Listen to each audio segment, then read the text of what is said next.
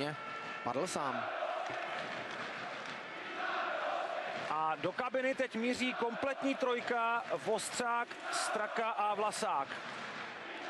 10 minut před koncem zápasu opouští arénu O2 trojice útočníků, která nejvýrazněji přispěla k bezpečnému náskoku.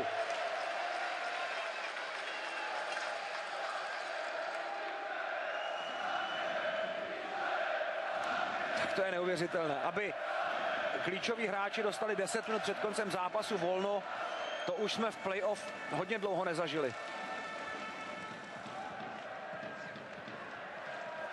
Takže z první pětky ze zahajovací sestavy Plzně eh, zbyl teď Pavlu Hinkovi, to vše samozřejmě bylo na jeho pokyn, Eh, tak eh, mu zbyl pouze Jaroslav Nedvěd, všichni ostatní už odpočívají v plzeňské kabině. Ledě jsme viděli jak sedmého beka Davida Všetečku, tak 13.